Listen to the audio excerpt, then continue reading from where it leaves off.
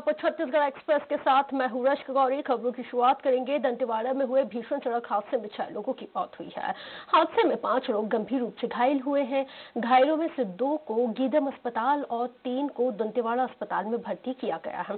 हादसा बारसूर थाना क्षेत्र के मार्ग पर राम मंदिर के पास हुआ है। यहाँ बारसूर मार्ग पर स्कॉर्पियो वाहन अनियंत्रित होकर पेड़ से जा टकराया।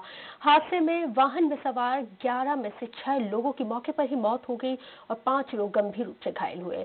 वाहन में फंसे घायलों और शवों को गैस कटर की मदद से काटकर बाहर निकाला गया।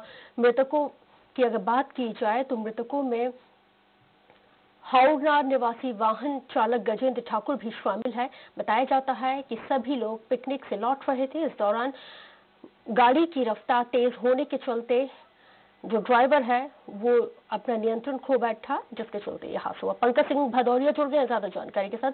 पंकज, ताज़ा अपडेट क्या है? बता दूँ मैं कि अब तक छह लोगों की घटना में मौत हो चुकी वहीं पाँच लोग गंभीर रूप से घायल हैं। घायलों में से तीन की हालत नाजुक बताई जा रही है। सबसे बड़ी बात है कि ये इसमें जिस गाड़ी का एक्सीडेंट हुआ है बारपुर के पास में एक राम मंदिर पड़ता है। वहीं पर गाड़ी पेड़ से टकराई है। सभी लोग पिकनिक मनाने के लिए गए थे बारपुर के पास में और वापसी के दौरान ये हादसा हुआ है। गाड़ी में सवार पाँच लोग जगदलपुर के हैं। वहीं पर बाकी लोग गीदम के पास एक हॉर्नर गाँव पड़ता है वहाँ के हैं। और सबसे दुखद घटना ये है कि इसमें जो लोगों की मृत्यु हुई है उसमें से चार पाँच मासूम बच्चे हैं जिनकी उम्र ग्यारह साल तेरह साल सोलह साल ऐसी है। जी। बहुत शुक्रिया जानकारी के लिए आपका।